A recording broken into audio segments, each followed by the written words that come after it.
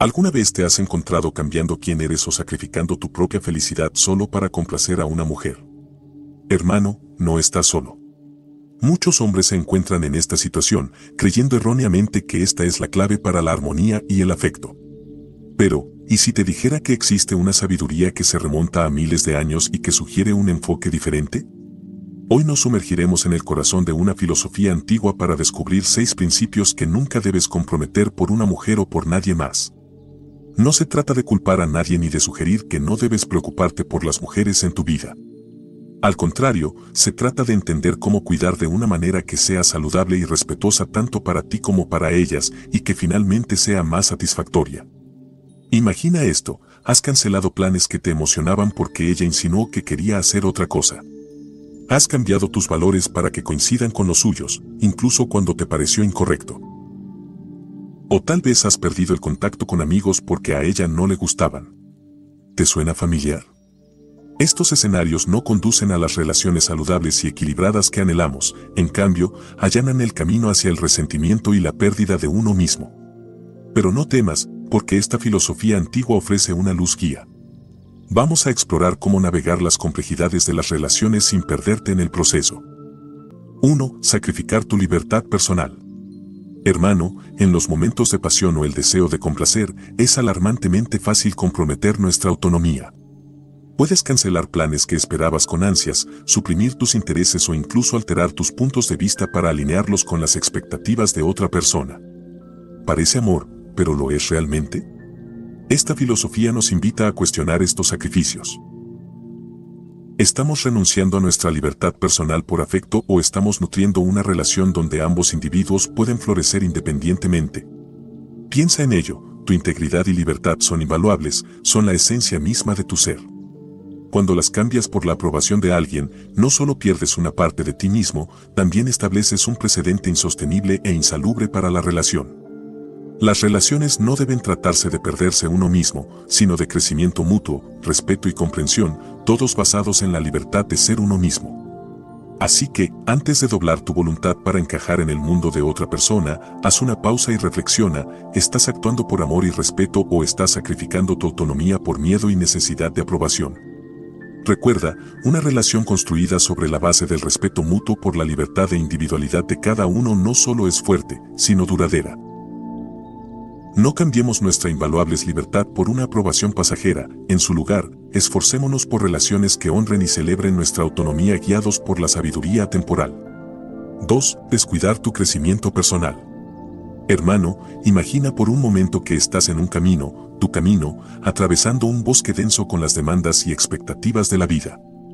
Cada paso adelante es un paso hacia la automejora, la sabiduría y, en última instancia, la virtud. Ahora imagina desviarte constantemente de tu camino para caminar el de otra persona, poniendo sus necesidades y metas por encima de las tuyas. Esto es un mal uso de nuestra capacidad de razón y un descuido de nuestro desarrollo personal.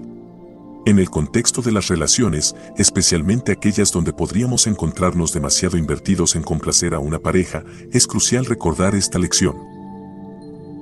Comprometer tu propio desarrollo o poner constantemente las necesidades de alguien más por encima de las tuyas no solo puede obstaculizar tu progreso, sino también llevar a una pérdida de ti mismo. No se predica la automejora como un fin egoísta, sino como una manera de convertirnos en mejores seres humanos para nosotros mismos y para aquellos que nos rodean.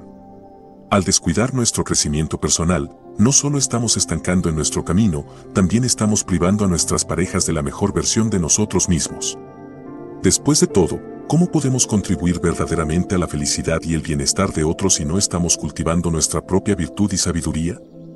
Las enseñanzas nos recuerdan que el enfoque en la automejora y la sabiduría no es una búsqueda solitaria, sino una que enriquece nuestras interacciones y relaciones.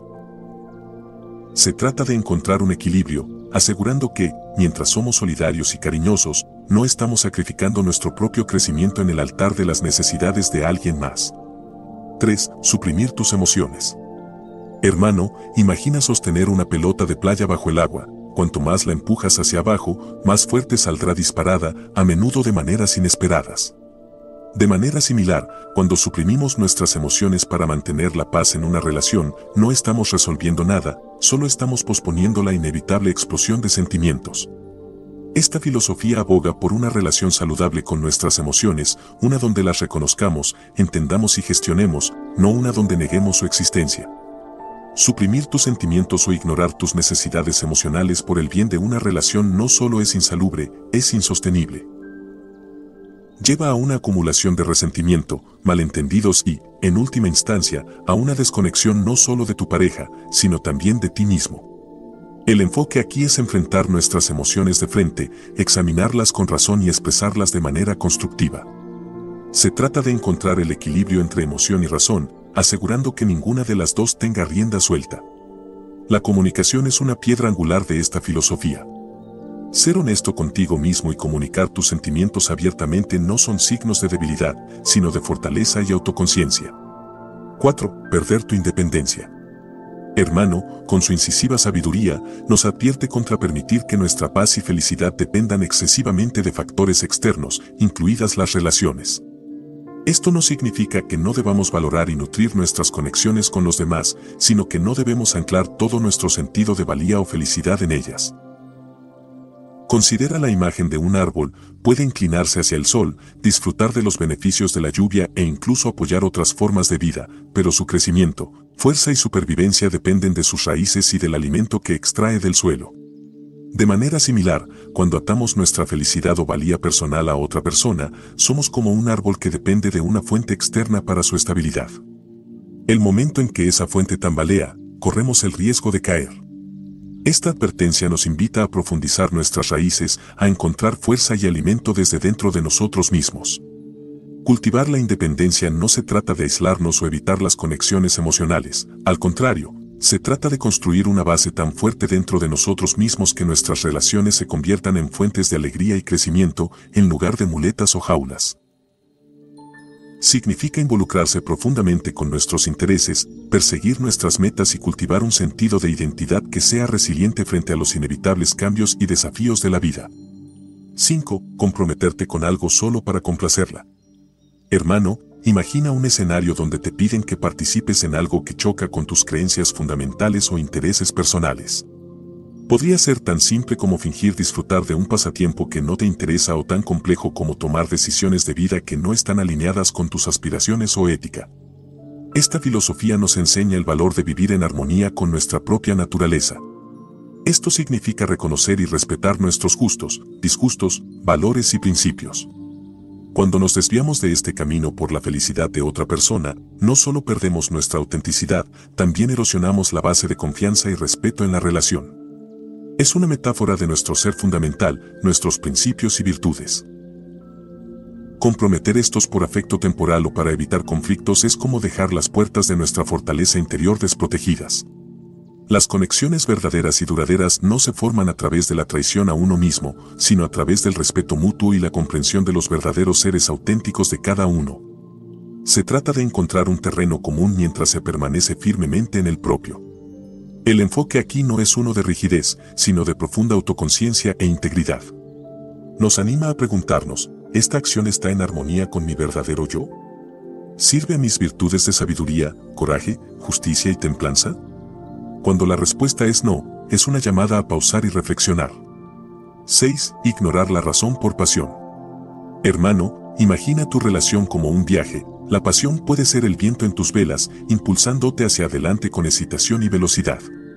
Sin embargo, sin el timón de la razón para guiarte, ese mismo viento podría enviarte a estrellarte contra las rocas. Aprendemos que no debemos ser esclavos de nuestros impulsos, sino maestros de ellos, guiando nuestras vidas con sabiduría y previsión. Esto no significa reprimir nuestros deseos, sino entenderlos, cuestionarlos y alinearlos con nuestros valores y objetivos más profundos. En los arrebatos de una relación apasionada, es fácil dejar que las emociones dicten nuestras acciones, hacer compromisos que entren en conflicto con nuestras creencias fundamentales o ignorar señales de advertencia que habríamos notado si no estuviéramos cegados por la pasión. Aquí radica la sabiduría, la razón debe ser el lente a través del cual examinamos nuestros sentimientos, asegurando que nuestras acciones en las relaciones no sean solo reacciones a emociones pasajeras, sino elecciones hechas con claridad y previsión. Hermano, si encontraste este video perspicaz, por favor, dale like, compártelo y suscríbete para más. Y no olvides comentar abajo con tus pensamientos o experiencias relacionadas con esta filosofía y las relaciones. Hasta la próxima, mantente virtuoso.